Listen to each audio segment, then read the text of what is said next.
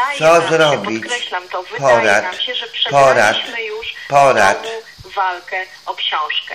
Y, Mam nadzieję, że ta opcja ratunkowa Państwu się przyda. Generalnie koncepcja poradnika jest taka.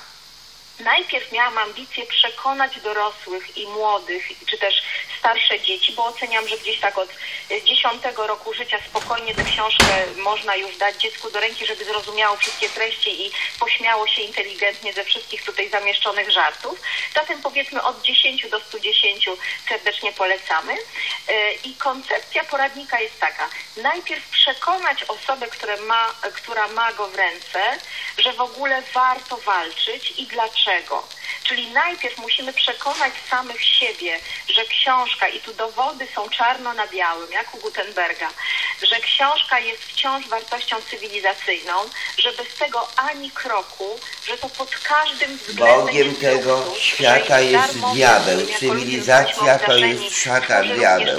Kogo ty bronisz? A gdzie Biblię masz? Pokaż, babo, gdzie masz Biblię, w której torebce Słowo Boże, może w etui masz skórzanym, zamykanym zameczkiem. Pokaż swoją Biblię. Pokaż Biblię. Ty, ty, najmądrzejsza na świecie. tego, kto tę książkę wziął do ręki, jak już się przekona, pośmieje, pomyśli, bo dużo też refleksji ciekawych tutaj jest, jak już zrozumie, co też starałam się opisać tutaj, na ile potrafię kompetentnie, konfrontację Kompetentnie mediów, najmądrzejsza na świecie, dlaczego tak, tak.